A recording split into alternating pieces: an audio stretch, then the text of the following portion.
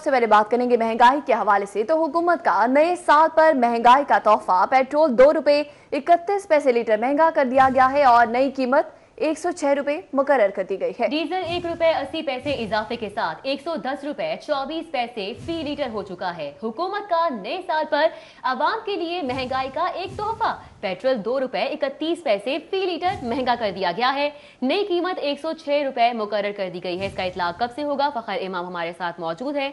उनसे जानेंगे। जी फखर।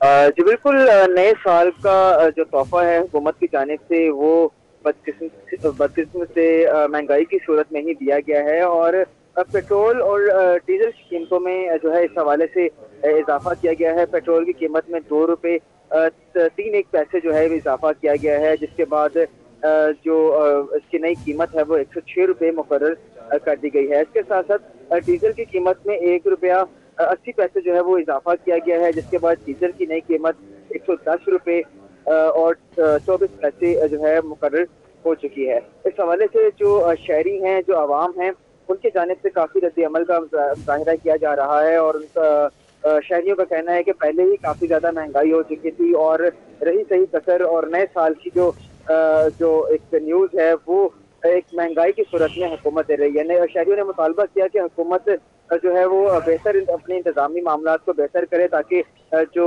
महँगाई की सूरत हाल है उससे बचा जा सके। महँगाई की सूरत हाल से बचा जा सके। इस हवाले से शहरों की जानब से भी रद्द सामने आया है। बहुत शुक्रिया। सैयद फ़खर इमाम तफसली तौर पर अपडेट कर रहे थे।